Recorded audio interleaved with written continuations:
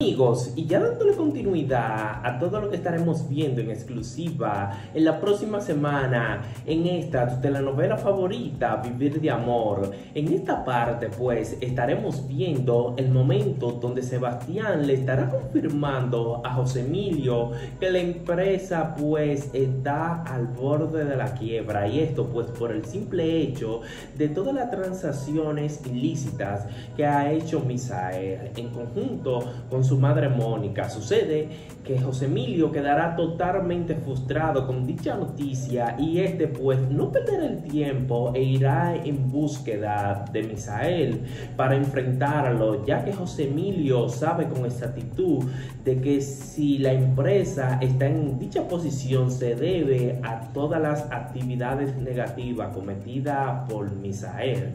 Y en exclusiva estaremos viendo por fin de que Brian pues será condenado no obstante, estaremos viendo de que el mismo será interrogado y es precisamente en ese momento donde Brian estará confirmándole a las autoridades quiénes fueron sus cómplices. Así que sin más preámbulo, te invito a que te suscribas y nos dejes tus likes y de paso me deje un comentario si te gustaría en el próximo avance que nosotros te saludemos. Así que déjanos tu comentario aquí y especificándonos desde dónde nos está Así que no te lo pierdas.